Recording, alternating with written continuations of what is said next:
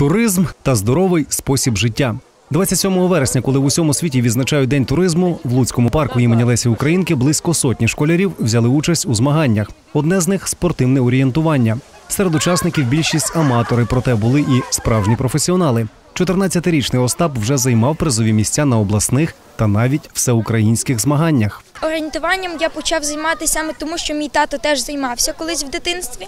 І оце десь, коли мені було 10 років, він мене привів сюди, і тоді я перший раз спробував е, саме цей вид спорту. Учасників поділили на декілька груп за віком. Окремо змагались хлопці та дівчата. 11-річна Анастасія швидко впоралася із завданнями для своєї вікової групи. Каже, що займається спортивним орієнтуванням лише рік, але її це дуже захопило. Ми шукали КП, і мені треба було знайти 6 КП.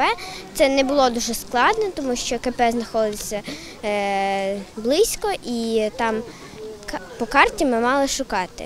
Загалом у спортивних змаганнях взяли участь близько сотні школярів, які займаються у позашкільних туристичних гуртках. Організатори кажуть, що дітей мало бути більше, але трохи завадила погода. А ще деякі діти просто не знайшли на це часу через зайнятість у школах. Дуже багато дітей ще до сих пір зайняті у школах. Зокрема, і мої діти, які займаються в гуртку.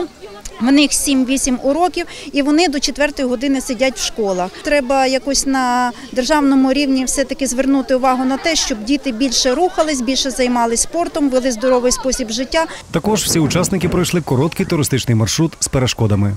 Одна Не один на людину. Подавай дітям.